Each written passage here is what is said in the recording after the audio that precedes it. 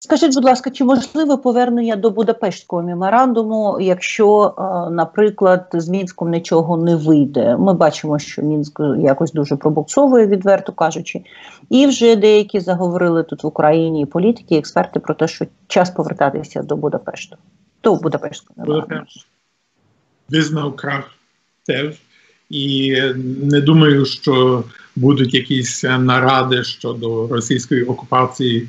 Криму і України в контексті е, цьому. Я думаю, що варто є настоювати на це, що цей механізм мав бути втіленим і намагатись його відновити. Але я думаю, що він не доведе до нічого, бо ніяк, бо ніяк не буде якихось поза санкціями, не буде ніяких інших е, застосовань важелів, е, важелів е, впливу е, на.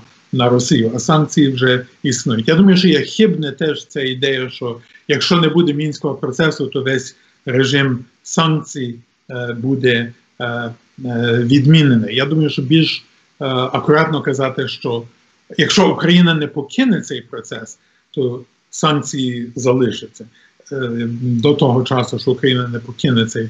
Цей процес або Росія а якщо покине, а якщо покине, якщо Україна візьме і покине мінські переговори, відкриє е, більше е, поле гри для декілька європейських держав можливо, в певному контексті Італії або е, Угорщини, або, можливо, інших е, не ключов, не на перших самих ключових е, країн, е, е щоб е, намагатись зняти деякі, деякі санкції. Але не знаю, чи це спрацює, але це є трошечки таке ризиковне. Я думаю, що найкраще є не відходити, але не посилювати і підвищувати рівень і надавати таку ілюзію, що е, щось глибокого відбувається, чи робити якісь глибокі концесії російській стороні.